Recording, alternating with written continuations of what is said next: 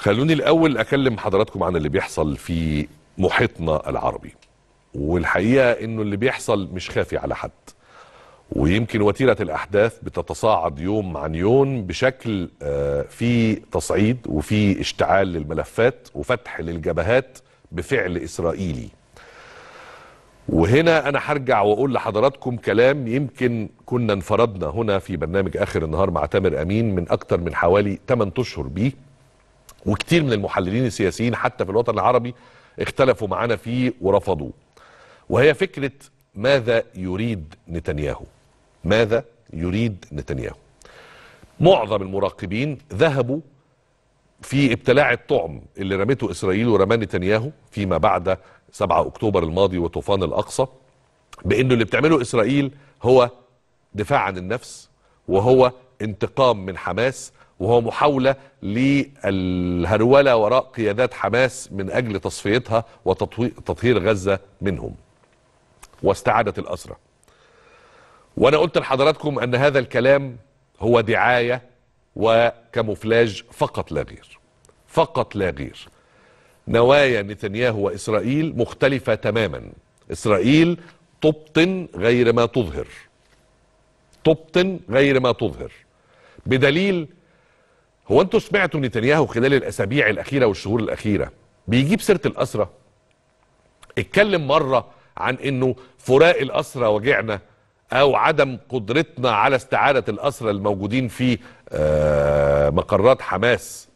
آه، فارق معانا. ما بننامش الليل من بعد الاسرى ولا حاجة خالص. رغم الضغط المجتمعي وضغط أهالي الاسرى على الإعلام وعلى الكابينت وعلى الكنيست الإسرائيلي ومع ذلك نتنياهو ومجلس حربه لا يذكرون الأسرى من قريب أو من بعيد. وأنا بقول لكم أنه آخر همهم. إيه بقى حقيقة نوايا نتنياهو؟ وده قلناه في بداية هذه الحملة العسكرية العدوانية على غزة واللي فتحت كمان دلوقتي في الجبهة اللبنانية بشراسة. حقيقة نوايا إسرائيل ببساطة ونتنياهو تحديدا هو استغلال الفرصة الذهبية المتاحة هذه الأيام بسبب انشغال العالم بأزماته وأوضاعه الداخلية والمشاكل الاقتصادية وبسبب التوهان الأمريكي في عام الانتخابات الأمريكية بحثا عن كاميلا هاريس أو دونالد ترامب بيستغل نتنياهو وإسرائيل هذه الفرصة لتصفية كل أعدائه للخلاص من كل التهديدات اللي كانت دايما صداع نصفي في رأس إسرائيل على مدار سنوات طويلة. والدليل هو الواقع اللي إحنا شايفينه. اللي عملوه في غزة مش استهداف لقيادات حماس ولا بحثا عن أسراهم ده تدمير تدمير لغزة. هذه المنطقة نتنياهو لا يريد أن تكون مكانا صالح للحياة مستقبلا. لا لحماس ولا لغير حماس. لا للقيادات والمقاومة ولا حتى للشعب الغزاوي العادي المدني.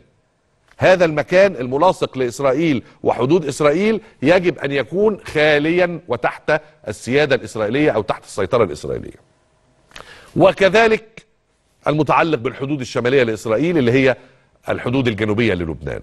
هذا المكان الذي كان يمثل صداعا بسبب تواجد حزب الله في الضاحية والبقاع والجنوب اللبناني يجب ألا يستمر. عشان كده القصة مش بس برضه اغتيال حسن نصر الله الأمين العام والدليل هو تجهيز إسرائيل دلوقتي لما يسمى بالاجتياح البري للضاحية وللبقاع وللجنوب. ليه؟ عشان هذه المنطقة يجب أن تخلو من كل ما يمكن أن يهدد إسرائيل مستقبلا ويجب أن يعود المستوطنون الإسرائيليون إلى الشمال الإسرائيلي غير مهددين في المستقبل. ثالثا الضربات اللي بدأها إسرائيل ونتنياهو أمس في اليمن. الحوثيين. نتنياهو وجد أنها فرصة ذهبية للتخلص من كل أعدائه في ظل الصمت والعجز الدولي عن إيقافه. قال لك فرصة مش هتتكرر. أخلص من صداع الحوثيين، أخلص من صداع حزب الله، أخلص من صداع حماس وغزة إلى الأبد. هذا ما يدور في عقل نتنياهو ومجلس حرفه آه، سموتريتش وبن جفير وباقي اليمين المتطرف الذي يحكم إسرائيل أو يدير الحرب الآن. فيجب إن إحنا نبقى متفطنين لهذا الكلام. نعمل إيه؟ دي قصة تانية. نعمل إيه؟ دي قصة تانية. لكن لا تهرولوا وراء الكلام وأن نتنياهو يريد المفاوضات ويريد إيقاف إطلاق النار وهمه الأول الأسرى. هذا آخر همه. هذا آخر همه.